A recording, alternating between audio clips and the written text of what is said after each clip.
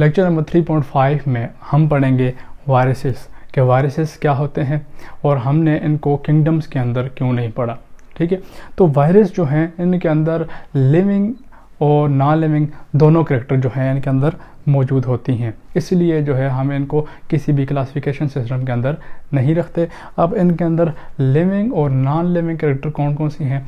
Living character आप देखें तो इसके अंदर जो है डीएनए और आरएनए जो है एज ए जेनेटिक मटेरियल मौजूद होता है, या आप हेरिडिटरी जो मटेरियल है, उसके तौर पर आप कह सकते हैं।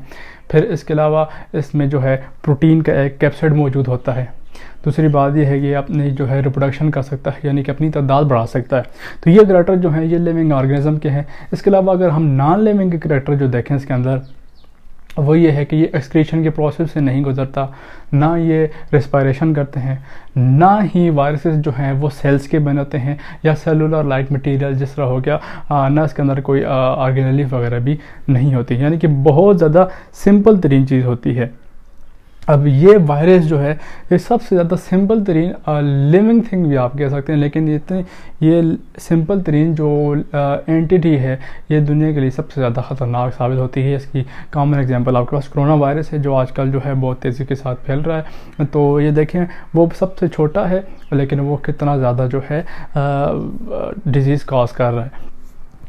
तो आ, नॉन लिविंग करेक्टर में जो है, उसकी जो है एक्सक्रेशन नहीं करता रिस्पायरेशन नहीं करता, या सेलुलर मटेरियल या आप ये कह सके सेल्स का नहीं बना होता।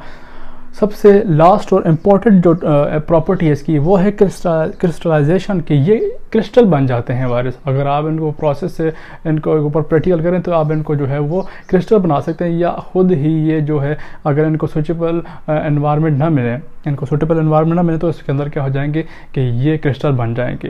क्रिस्टल बन जाएँगे तो क्रिस्टल बनने का सबसे ख़ास फ़ायदा इनको ये होता है कि जब तक इनको जो है एक दोबारा से फेवरेबल कंडीशन नहीं मिलेगी तो ये तब तक क्रिस्टल बन रहेंगे। यानी कि इन्फिनिट इन्फिनिट टाइम पीरियड के लिए जो है, ये क्रिस्टल बन, बने रहेंगे और यानी कि ये इनकी स्पीशीज़ ख़त्म नहीं होगी। ये आगे जो है अनफिनिट टाइम के लिए जो है सर्वाइव कर जाएँगे क्योंकि वो एक क्रिस्टल की फॉर्म में बन गए। लेकिन यहाँ पे दूसरी बात यह है कि crystallization is a property of non living beings या फिर आप कैसे नॉन लिविंग थिंग्स की करेक्टर है।